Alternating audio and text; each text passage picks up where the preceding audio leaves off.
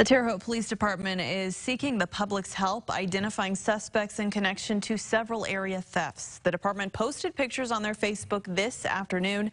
Anyone with information is asked to call Detective Julia Piety at 812-244-2255.